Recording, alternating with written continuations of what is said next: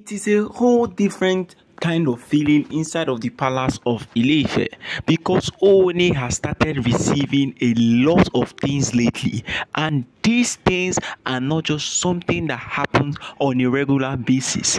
Now he is having a sleepless nights because he has been seeing a lot lately in his dreams and it is something he has been willing to talk about with his Oloris whether they have a hand in it or not. But still, he doesn't know what exactly he can still say because he still has that certain feeling in him that there is a whole lot of things his Oloris need to talk about.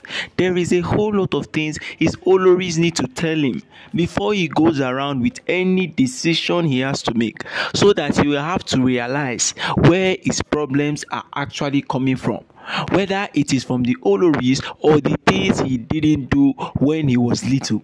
So, guys, good morning, good afternoon, and good evening, depending on when and where you are actually watching us from.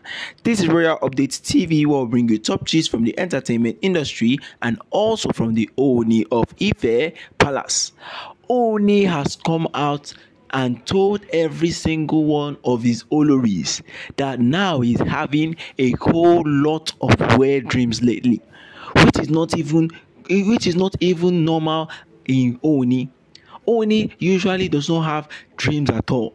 He sleeps normally, comfortably like a baby boy. But now it is another different case because he has now found out that every time somebody keeps on visiting him, telling him about the works of Queen Naomi, telling him what exactly he has done to Queen Naomi, making him realize that all of the things he is doing, it is going to reflect back to him in 10,000 folds. Now, Ooni is very suspicious of whatever is going on because he was never expecting it from the very first place. He was never even thinking about it because all of it was just like a normal thing to him. Every single thing was normal to him until the dream started coming in. Telling him about Ooni, telling him about the works that the Oloris have been doing in the palace. All of this he has been thinking it is a dream until it started occurring so many times. Now, this is the time Ooni doesn't need to even sleep and talk, tell anything to his Oloris. He needs to discuss it with his Oloris as quick as possible. He needs to let them know that all of this thing that is happening, do they actually have a hand in it? Are they seriously involved in it? That is what we don't know now.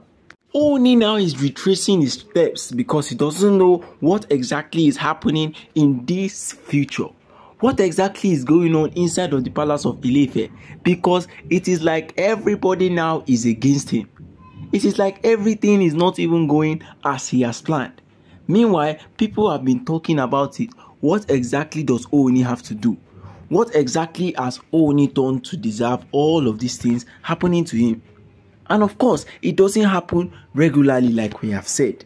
Ooni is very, very short. Ooni is just anyhow these few days because now he's realizing that these Oloris have planned so much against him. He has now realized that all of these things that is happening, it is because of Queen Naomi hasn't been in the palace. That is the same message they have been trying to send to him. So if at all he has realized all of this, he should make that desperate reach to Queen Naomi and settle all the matters with her. So guys, don't forget to like, share and subscribe and don't forget to drop your comment down at the comment section.